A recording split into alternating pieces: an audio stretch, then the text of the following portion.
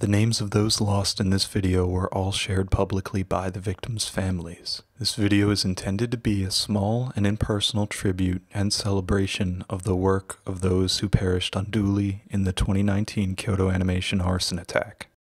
It is made out of respect and love.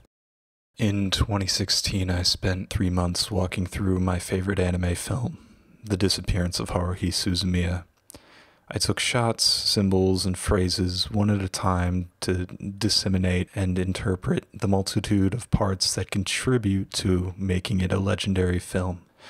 The experience left me with an even greater respect for the craftsmanship and awareness of the people who manifested the film and all its ideas into reality. And while I have no shortage of superlatives to lay at the feet of the original author Tanigawa, or at the feet of the performances of the English and Japanese voice actors. The truth of the matter is that the almost inconceivably perfect execution on behalf of the staff at Kyoto Animation is what allowed the melancholy of Haruhi Suzumiya to extend beyond a seasonal anime and become a worldwide craze. One where inmates would dance the Hare Hare Yukai, um, endless fans online would rage at Endless 8, and the landscape of the modern anime fandom would be forever affected by its wake.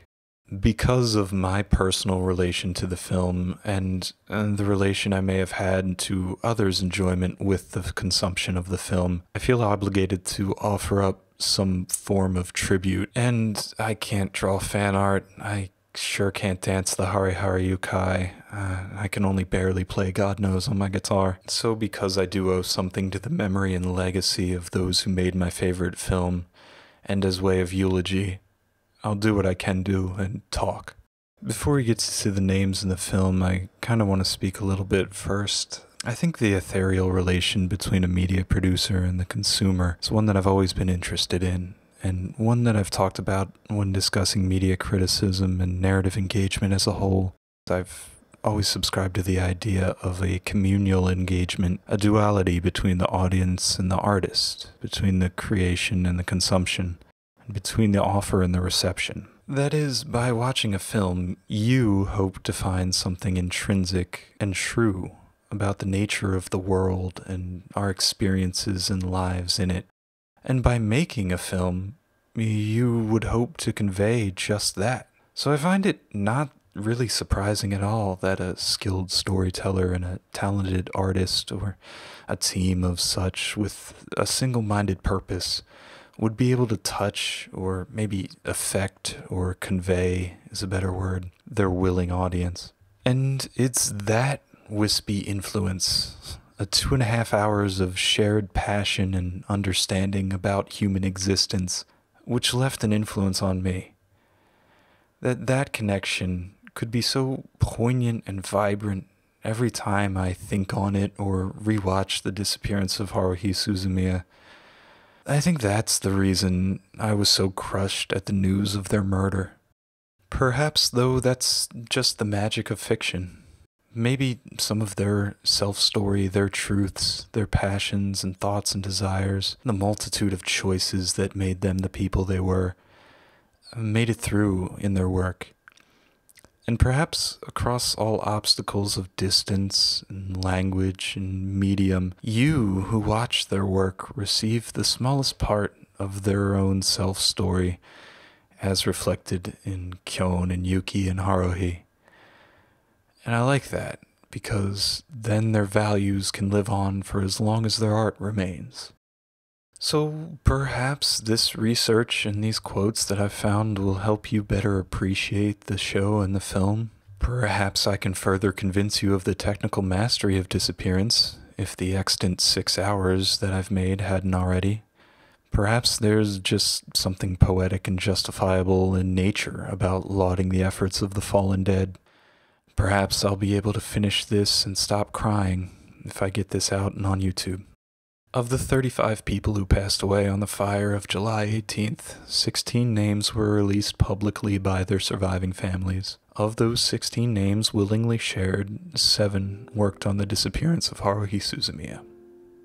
To quote one of my favorite books, a book that Yuki Nagato sure has read, but likely Kyon hasn't, quote, to understand who a person really was, what his or her life really meant, The speaker for the dead would have to explain their self story what they meant to do, what they actually did, what they regretted, and what they rejoiced in. That's the story that we never know. The story we can never know. And yet, at the time of death, that's the only story truly worth telling. Orson Scott Card, the speaker for the dead. I wish so much that I could tell you all about their lives and loves and thoughts. I wish I could even go into their entire careers and do a proper eulogy for each of them. But that's outside the scope of my ability. Hell, I wish I could conclusively attribute their works, in, even in just this film. But any specific attribution is muddied behind the collaborative creation of film and the fog of translation and distance and time. I'll do my best then to point out the efficacy of the elements that their position contributed to the film, and may the dead forgive my errors and my ignorance.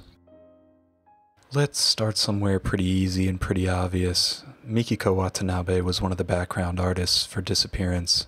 Background art in particular is one of the strengths that Kyoto Animation hangs its hat on, and it should come as no surprise that in their first feature length film, the quality of that art is astonishing. Whether it's the austere sterility of Yuki's apartment, or how that apartment ever so slightly changes to be a little bit more brighter and welcoming, or how drab the school grounds look in a world without Haruhi. All of the background art is in line with the director's intentions and with the purpose of the film. I do want to just point out a couple aspects that elevate this background art to the level of exceptional.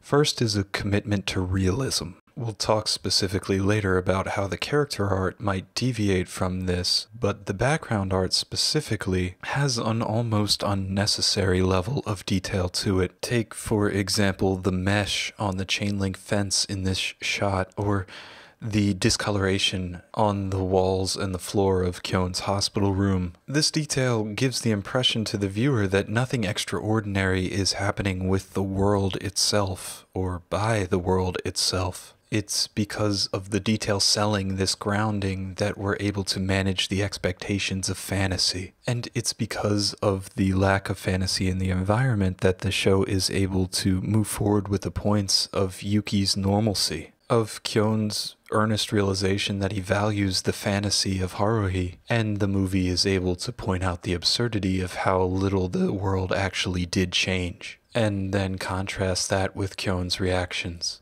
The second point I love about the background art is the simple way that darkness is used. Sure, we have astonishing shots with overwhelming darkness and just a level of detail in the backgrounds that truly makes the mouth gape. For instance, this shot with Kyon under the light is probably one of my favorite in all of anime. But even with a more subdued composition, you see the extreme skill of the background artist in portraying the lack of light for example, this shot of Kyon in the hallway wouldn't have nearly the impact if the contrast was different on this background. Say if the wood wasn't as glossy or the shadows as ominous and diffused. Every time I rewatch this film, I'm struck every single time by how dark they allow this to be. On many of these shots, you can barely even see what's going on on screen. But I'll be damned if it isn't the most effective thing possible for the mood it feels like you could almost tell the entire story of disappearance without any of the cell animation or audio if you were just looking at the backgrounds of the scenes, the prevailing colors, the kind of emotional state that they put you in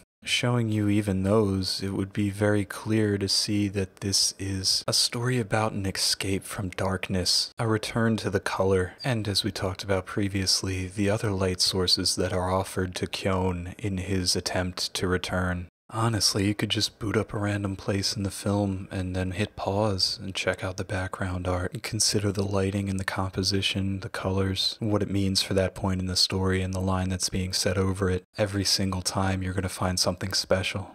So well done, Mikiko, for giving us beautiful shots like the school here, and for infusing every little bit with poignant meaning. That makes it pretty easy to transition into another area that suffered a huge loss that would be the color design and keying of the film done almost entirely by Naomi Ishida. Their responsibility would have been to take the animation stills, every frame of animation throughout the entire movie, and assign a color to everything that's not a part of the background. For example, the fact that Kyon's skin is noticeably darker than Mikuru's, or that the shadows on Kyon's shirt should be right about here and have a different level of lighter black gray than the windows behind him or the darkness of his hair. And just like the background artist, too, the job of color design would have to be so much aware of the mood of each scene, what's trying to be conveyed, what the lighting is like, and what emotion the audience is supposed to be receiving at this moment. I hope you believe me when I say I would not necessarily talk in superlatives if they didn't deserve it, but here I love every single choice Ishida makes over the course of this film. Let's take out a few examples and I'll show you how concise and effective it is. Take the earthy greens on Kyon's coat, fading him into the background here, but then that same coat being a soft, enveloping, deep blue-gray in the moonlight with Yuki here, as if it's splitting the distance between Kyon's deep green and Yuki's pale blue. Then, of course, using a palette of bright, crisp browns in order to highlight Moe art choice and form this endearing, nostalgic moment. And of the same accord, the soft, beautiful moments when Nagato offers some light to Kyon. In these moments, though, the contrast is higher. Uh, the world is not universally illuminated. The shadows are more pronounced, and the entire place is less saturated. But using the exceptions is easy. I think what makes the color design of this film so great is that for the majority of the film, as Kyon is in a world speckled by gray, it seems most of the colors of the characters we already know from Haruhi are speckled by gray too. Again, how perfect and how unified all of these decisions from these separate artists are towards one singular purpose. Thank you, Naomi Ishida. There's an interesting credit listed for Sachie Tsuda, it would appear that they did the paint and special effects for the film. Now, painting itself is simple enough. They would take the information and color design laid out by Naomi Ishida and fill it in using the paint bucket tool or whatever tools are necessary. It's not inherently too creative of a role, but they're also credited with the special effects on the film. Now, that could be any number of things, really, um, from Kyon opening his eyes to uh, some of the elements of the CGI. But I think what's most probable is it's the uh, stuff you would do in After Effects, such as when he meets Ryoko Asakura again for the first time and then rushes out into the hallway and there's that Dutch angle and it's all blurry. The blurriness, of course, would be added in post processing in After Effects to create that kind of Gaussian blur also, of course, you probably wouldn't animate text, especially when you're trying to do a computer screen or the words that come up when Kyon talks to himself. I think it's very likely that Sachie Tsuda had something to do with these. How much of that is their own creativity coming through? Again, too fine a detail and not enough information. But I think much like the old acting verbiage, there are no small roles. So too do I think there are no small influences on a creative work. And every single thing, every time you have the opportunity to do something or influence something as large as a movie, I think you can't help but put some of yourself into it. So in those small instances, Sachie Tsuda, thank you for your contribution. So now we've reached the point where we're going to be talking about the people who actually animated everything and I'll not beat around the bush, these losses are incredibly heavy. First, you have Yoshiji Kigami. Kigami was 61 at the time of his passing, and I mention that only because the laundry list of the things that he had influence on and worked on during his career is astounding. Even outside of the scope of Kyoto Animation, the man had done key art for Akira, Doraemon, or Shin-Chan, for Kyoto Animation, he not only directed all of Munto, but also the list of scenes that he animated or storyboarded. It's just astonishing. They almost all have a ton of motion and emotion to them, and fluidity. And it's not surprising to me at all seeing these scenes that he was somewhat of a mentor to everybody else on the staff. On your first day as a director, you could tell that he's your ace in the hole for any type of difficult or complicated or impactful emotional scene. It's unfortunate then that we don't have the exact cuts that he animated on Disappearance, and he's only listed for one such cut in the entire Melancholy of Haruhi Suzumiya, this one right here. So we'll just have to assume, um, using the information that we have of Yui singing, or Kumiko running through the bridge, or Violet going on a wartime rampage, that the directors and animation directors would have likely used him in scenes where they needed a lot of fluidity and motion conveyed, and that were very important to the film. I would probably put that on Kyon running with the train in the background, or maybe the scene just before when he grabs Taniguchi and shakes him violently. As it's uncredited, he's probably a better bet than most to be the person responsible for drawing the slow motion stabbing of Kyon. His passing is truly a terrible loss for any fans of Sakuga and the type of people who will find out who animated each cut, and considering his role as a mentor and an ace in the hole for Kyoto Animation for years and years. I. Thank you, Yoshiji Kigami, for the work you did on this film, for even getting Kyoto Animation to this point in the first place to be able to make this film, and most of all, that one part in the Lucky Star opening where each of the girls dance individually. That loss in and of itself would be a pretty hard one to take and a savage blow to both the animation studio and the industry at large. But I'm afraid that's not even the worst news for the animators of the disappearance of Haruhi Suzumiya. The animation production was split up into six parts, each part having a different animation director. Over top of these six animation directors, this film had two chief animation directors.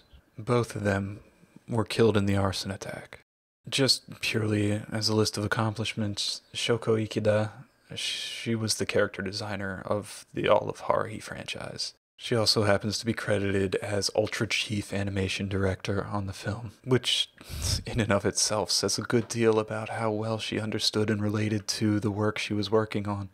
Futoshi Nishiya did the character designs for the spin offs like Haruhi chan, um, but also was the chief animation director for the second season of the Haruhi episodes that aired in 2009, meaning he's to thank for how gorgeous that animation is during Endless Eight, and a large part of why everyone was upset that they had wasted all those resources. Thankfully, for these two at least, there is a translated interview between them talking about what they did on the film so we have some sort of lens into their minds and can talk a bit more concretely about how they viewed the movie and what they were trying to convey. Something I found particularly enlightening was um, these quotes from Ikeda, where she says, quote, in order to not make the characters too realistic, we would do things like not attach shadows or make their face muscles limper I advised everyone to insert a bit of flexibility in expressions or body postures in order to show focus on the emotional drama foremost. I also find it quite interesting that she says she wanted to bring out the gallant atmosphere of Haruhi, but she advised them not to overdo it on the cuteness overall. I find this particularly interesting because this is the character designer of the original Haruhi. These are character designs that would go on to influence K-On! and would be the face of anime fandom at large for years, heralding a new era of moe appreciation and cute girls doing cute things as a viable genre. Taking light novel descriptions and illustrations and turning them into a phenomenon and an artistic movement and financial marketing success. And here she says that they didn't want to make the characters too cute or too realistic because it wouldn't help the emotional drama of the film, the level of awareness and craftsmanship to be able to put behind your own previously successful works and innovate even using the same characters, to willingly hold yourself back creatively and not indulge in the single thing that made Kyoto Animation the most successful. Check the Blu ray sales and the merchandising if you don't believe me. And to do this for the purpose of serving the message of the movie itself. That's astonishing. Ikeda mentions that they instead focused heavily on the character's expressions and gestures, specifically facial expressions. For this, Ikeda mentions post-transformation Nagato as being a big one. Nishiya considers Kyon on the same level. They go on to mention a few scenes specifically, and I'm sure if you've seen Disappearance, you'll know exactly what those are. When Nagato in the post-disappearance world is shown on screen, there is a um, reserved subtlety to her actions, but certainly not a stoicism. They mention specifically the scene in which Kyon and Nagato meet in the post disappearance world and Kyon restrains Nagato. I think you can really understand why they were so concerned about this scene and conveying the emotions that Nagato is feeling. There's these very discreet flinches, the need to combine the animation with the voice actors panning and the pacing of the book falling. They bring up her posing, that they need to have body language that Nagato hasn't had before, and they need to convey a sense of having no self confidence in her. Adjusting her glasses and tilting her head and things like that. What I appreciate is that they realize that this is the core of the film. It's the most important thing. Years ago, when I went through this movie scene by scene, we talked about the different objectives Kyon has and how he doesn't realize what's really going on until it's too late.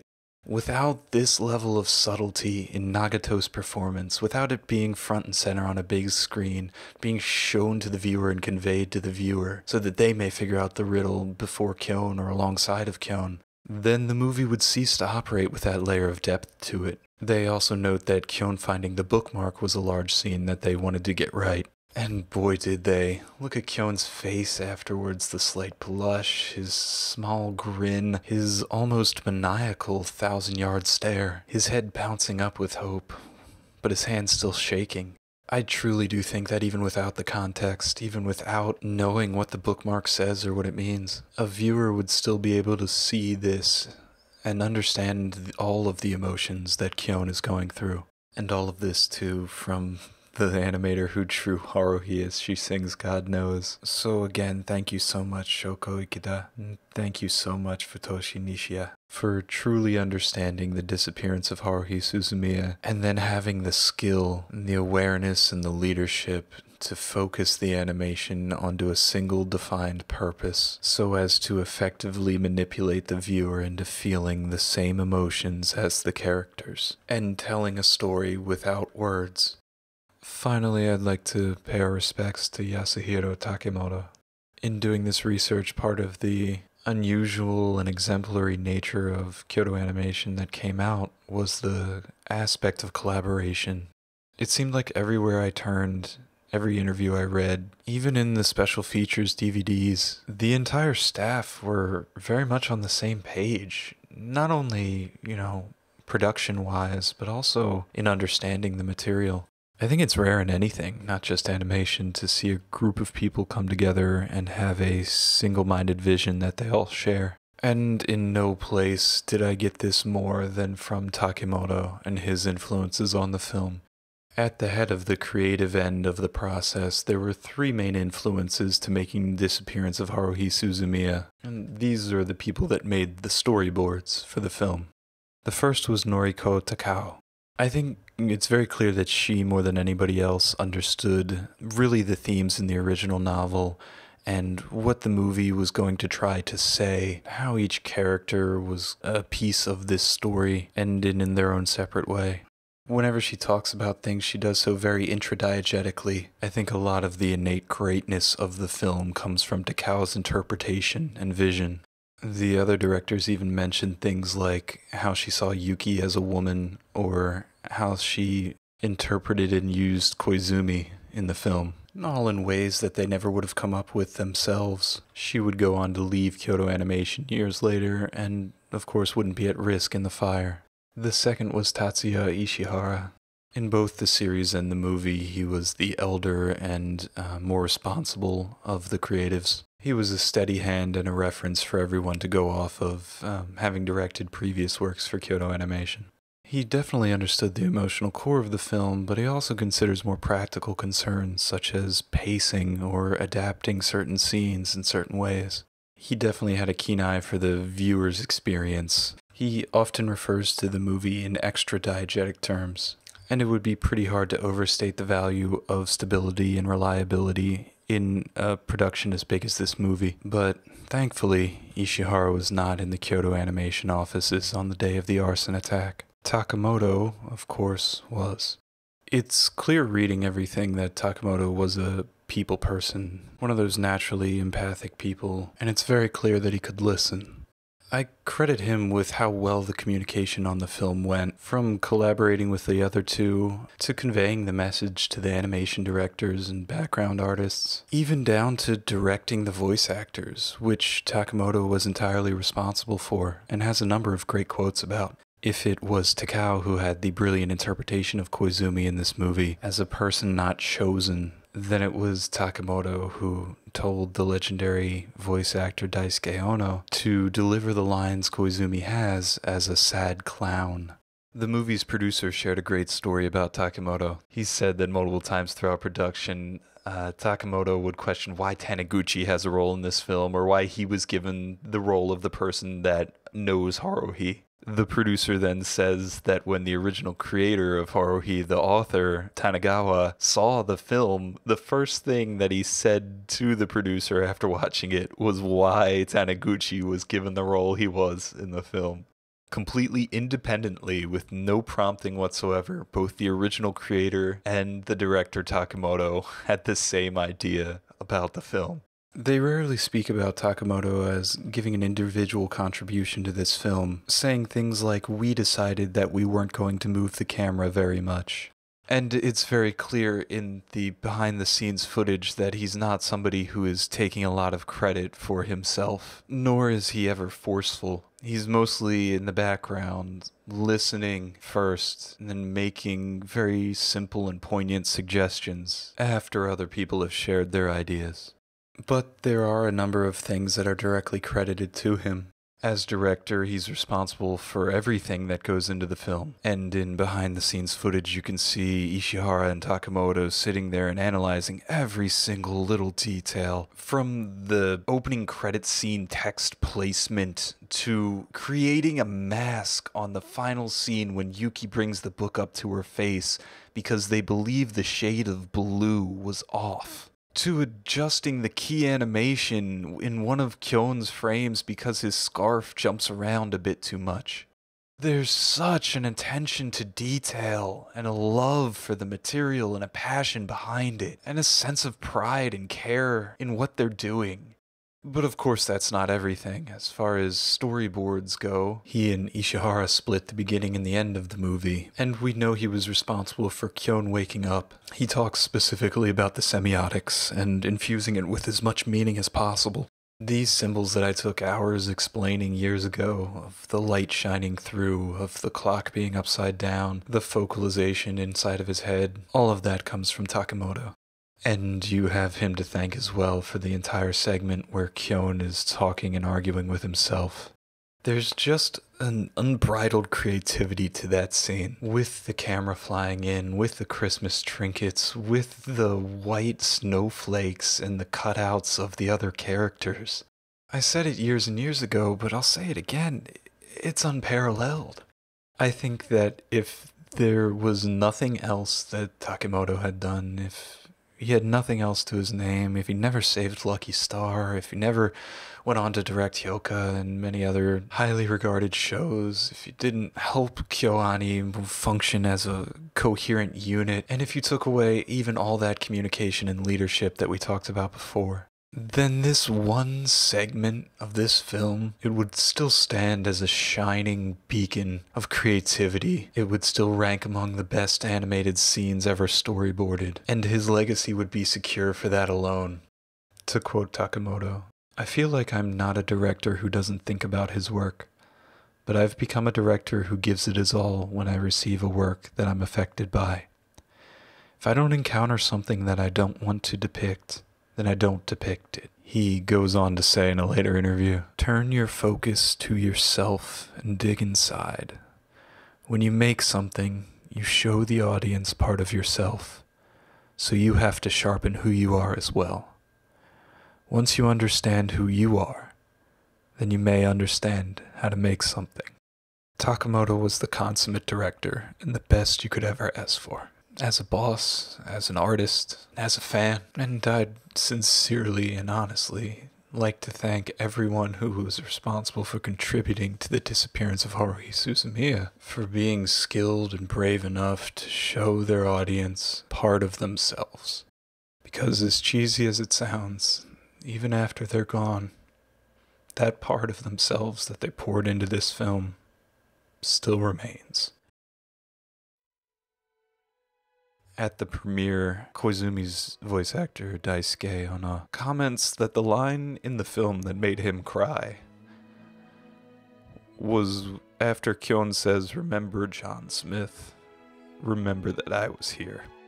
I don't think there's any better eulogy for the disappearance of Haruhi Suzumiya than that.